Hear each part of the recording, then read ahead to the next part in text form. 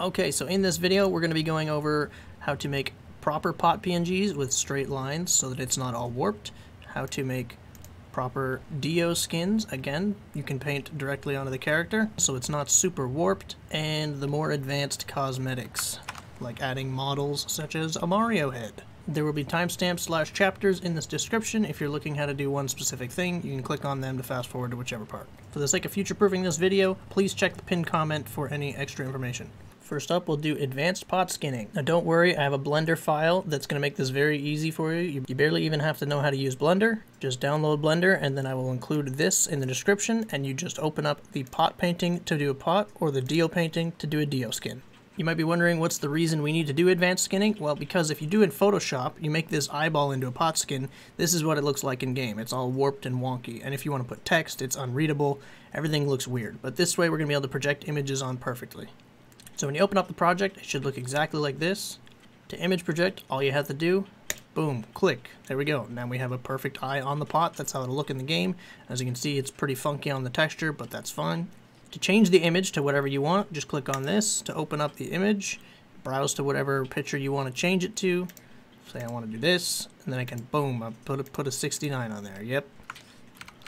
Now to save your pot PNG, you just go to image, save as, name it whatever you want. Pot I1. After you save the skin, of course, you go to mod pack, mods. You can put it Dio customizer or pot customizer, depending on what it is. I'll take this pot I1 skin, move it in here. Boom, now it's in the game. Now, if you want to paint without an image, you can scroll up to the top here, delete the texture, go to this top little gear, and you can just use a regular brush. You can change the color to whatever you want. Say I want to do blue, darken it a little bit. Tooltip size is also here. Say we go down to 25 radius, boom, boom, blah, blah, blah, blah, blah, whatever. We can draw in blue. Wow. So this is how you actually can draw on your model instead of in Photoshop where it doesn't match up. What I prefer to do is make my skin in Photoshop and then project the image directly onto the pot. Note that if you draw anything, you might want to set this texture back to white. Once that's back to white, you can change your texture. You can add your texture again. The eye, blah, blah, blah. Now you can project and put tiny eyes because I have a small tooltip now. There's about a lot of eyes on it. Important thing to note, it should be set up as orthographic view when you open this up, but just so you know, clicking on this Y will switch to the front or rear view on orthographic camera. You can also go to view, perspective orthographic. If you project like this, you're going to get a little bit of wonkiness.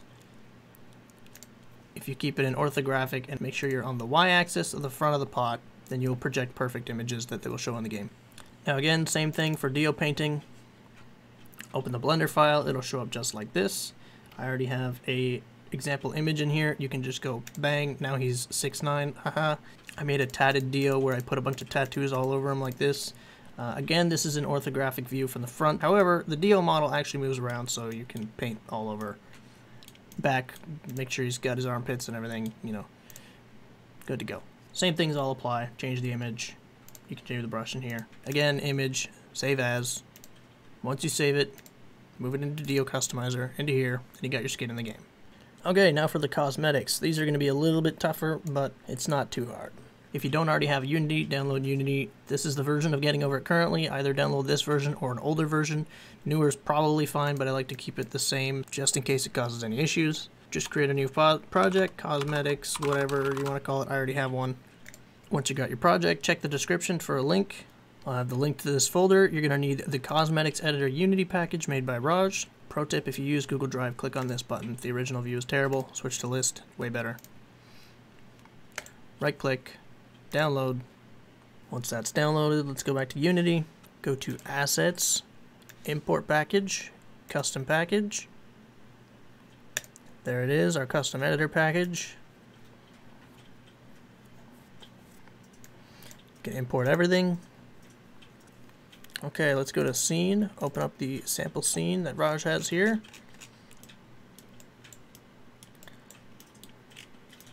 As you can see, we have our Dio to reference off of here. Just to expand these.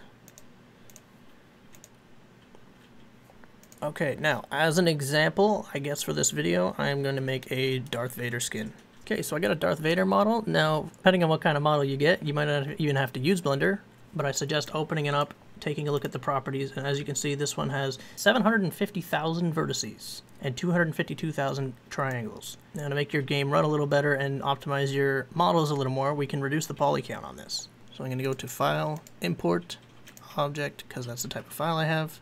Browse to the directory where my file, where my object is, import, As you can see, this is taking a while because it has so many polygons.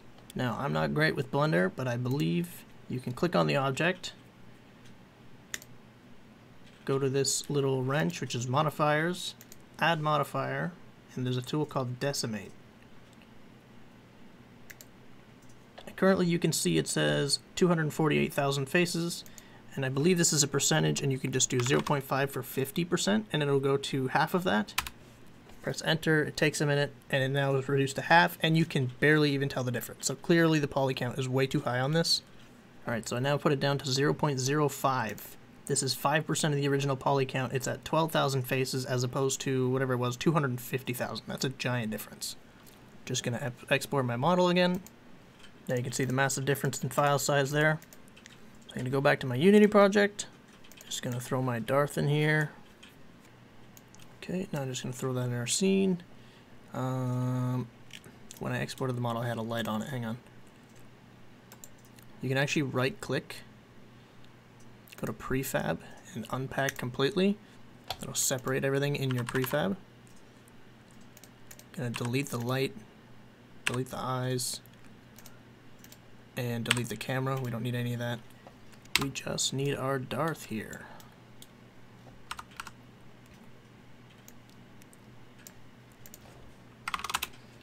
Gonna turn him around. That's too big, so I'm gonna scale it. And what I like to do is do two scenes, put them side by side. I'll put one on the side view, and then one on the front view. Then I can see if his nose is sticking out and so on, and pick a good size for it. Now this particular model did not come with a texture. It also appears to have a hole in it. I'll have to fix that later. Uh, so since this one has no material, right click, create material. Put it on the Darth. Gonna make that a specular shader.